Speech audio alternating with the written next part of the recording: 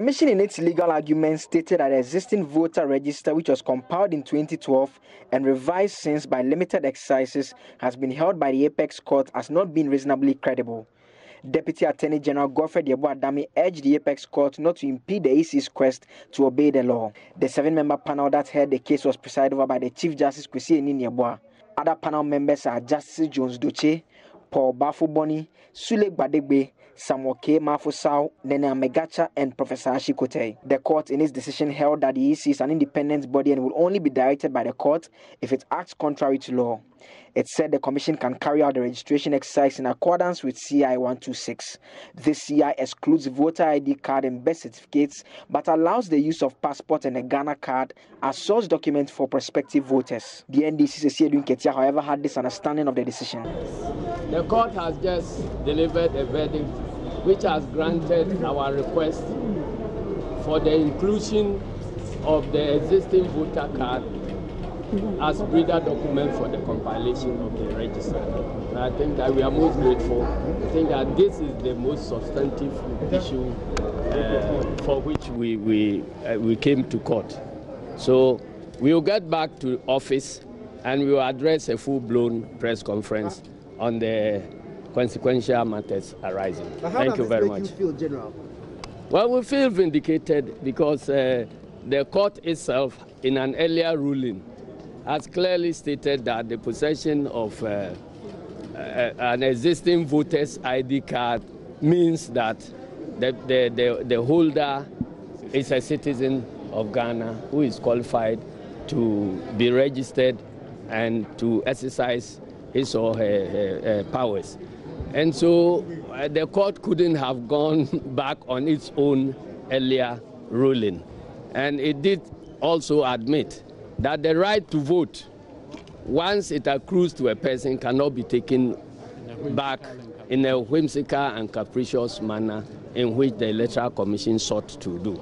There is currently just one case before the courts in relation to the compilation of a new register. This is the case filed by Ashaiman MP Ernest Norgbey, which is pending at the High Court and due for hearing on Monday, June 29. And this is where we transition to look at some of the mainstream issues. And we want to move the conversation forward. Absolutely, we do. Uh, so after that report filed by Joseph Ackah-Blay capturing uh, everything that happened yesterday with the reactions uh, to this ruling, let's introduce to you our guests who are joining us via Zoom uh, as we look at the way forward with this decision. Uh, let's say good morning to you, uh, Mr. Gary Nimako, who is a legal practitioner. Uh, Mr. Rockson-Nelson Dafeamekpor is also joining us via phone. Dr. Kojo Asante is Director of Advocacy and Policy Engagement with the CDD. Good morning to you, uh, if you can hear me. And then Dr. Kwame Asante is a political scientist with the University of Ghana. Let's begin the conversation uh, by going to the phone lines. Uh, let's talk to Mr. Dafeamekpor. Good morning to you. Uh, thank you for your time. Yes, good morning. Good morning to your viewers. Uh, it's unfortunate that I am unable to join via Zoom. Apparently so. Are you in the constituency?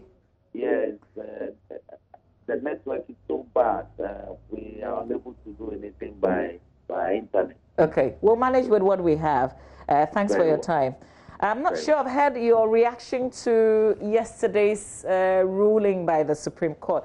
Surprised? Were you expecting it?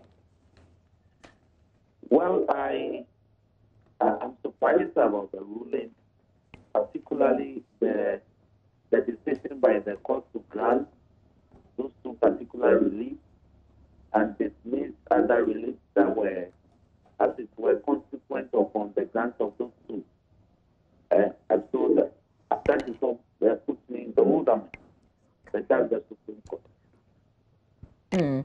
Mr. Dafeamekpor, it looks like we have to work on your telephone line so we can hear you a lot more clearer.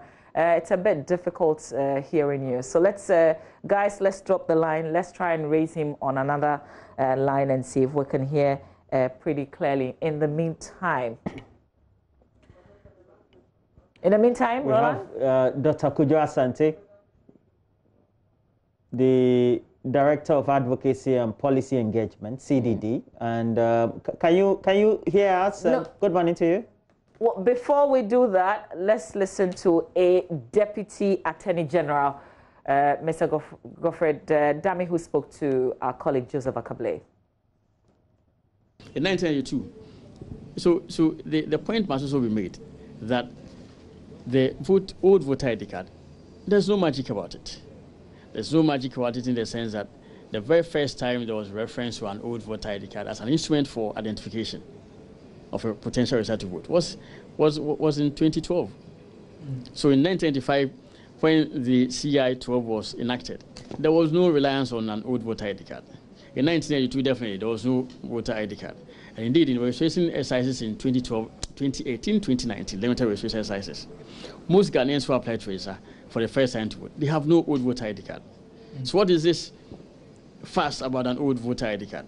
I think that only the NDC perhaps will, will, will, be able to tell us the, the value that they, they have uh, on, or the value that they place on the old ID card and the reason therefore. There are those who hold the view that had the changes not been the changes that we saw happen at the commission by virtue of the removal of some of its leaders, and uh, if that change had not happened, and in fact they they make the point that the position that your party held was that you wanted a new register. You said the register was bloated. And so, if it had not been the changes that had happened with the president making a new appointment, we may not be having a discussion about a new register entirely. And in, simple, in simple terms, uh, you succeeded either directly or indirectly to get a commission to agree to what you had held prior to coming into power. First and foremost, we're taking me clearly into the realm of speculation. You're also seeking to introduce politics into the work of the Electoral Commission. I think that that must be deprecated. That definitely does not hold at all. The Electoral Commission is independent. Whoever occupies the position of chairperson of the Electoral Commission has the necessary discretion and, and independence to, to operate. And, and I think that the Electoral Commission itself, the, the previous, as previously constituted, if I may put it so, clearly on account of what transpired in the Abu Ramadan case, would definitely have carried out a new registration exercise because they themselves told the court that about 56,000, no, first and foremost, the point I made, during the Abu Ramadan case, the position of the Electoral Commission was that majority of Ghanaians registered with the NHIS card. The majority of Ghanaians, majority of people over 40 million. That's impliedly the case. Majority. Of, and then they, they come to court to produce evidence of those who actually registered the NHIS card, and they come with 56,000 names. So that clearly showed that there were billions of people left on the voter roll who had unlawfully entered on account of having registered with the um, old with, with, with, card. So the Electoral Commission itself, if indeed wanted, wanted to be faithful to the Constitution and also uh, wanted to faithfully comply with the orders of the Supreme Court, would have definitely felt the need to compile a new voters register. The commission differently constituted didn't agree with the imposition of the NPP in the past. In fact, when it set up a team of experts uh, led by the late VCRAC Crabbe, uh, they recommended that sh they should not compile a new register. That doesn't change the point. It actually reinforces my contention that they are totally independent and they have a discretion to exercise at any time. And that's what the Supreme Court has stated today that where the Electoral Commission has two lawful options available to it, it can elect to choose which one to comply with. So, in 1995, as I indicated to you, the instruments of identification, in fact, there was no identification process at all, but the exercise there was constitutional. And then in 2012, there was reliance on old voter ID card, also constitutional. And then 2020, the Electoral Commission decides that in the spirit of ensuring that the sanctity of the electoral, um, the voters register will be uh, upheld. There's a need to eliminate the use of the old voter ID card, and the Supreme Court has held today that is constitutional. So I think that we must be careful in imputing motives to the Electoral Commission the way they conduct their functions. The most important thing is that three decisions of the Supreme Court, Abu Ramadan number one, Abu Ramadan number two, and the decision today have upheld the independence of the Electoral Commission. So those decisions are very consistent with, with, with, with, and, and the Supreme Court perhaps ought to be applauded for maintaining that consistency. All right, so that's the Deputy Attorney General there speaking to Joseph Ackah-Blay.